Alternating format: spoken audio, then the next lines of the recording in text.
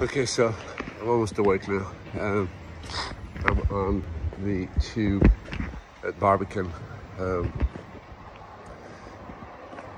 so in London, if anybody's ever traveling out here, you just have, you have a debit card, tap it, walk through the gate, get on your train, tap it on the way out.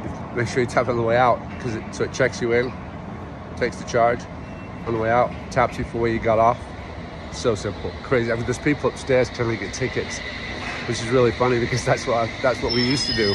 But now because of cash cards and cashless society, I mean, everybody's talking about you know cashless is bad. Oh my god, but I don't know. We seem to use it in the states a lot, and uh, here we go. It's uh, good.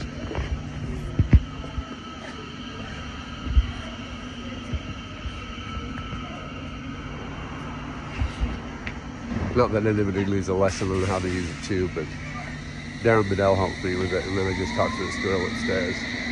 It's uh, this is kind of cool. I could live in London because of this. You don't need a car. You can just travel on the tube We get a bike. I see everybody's cycling. Anyway, off to Euston.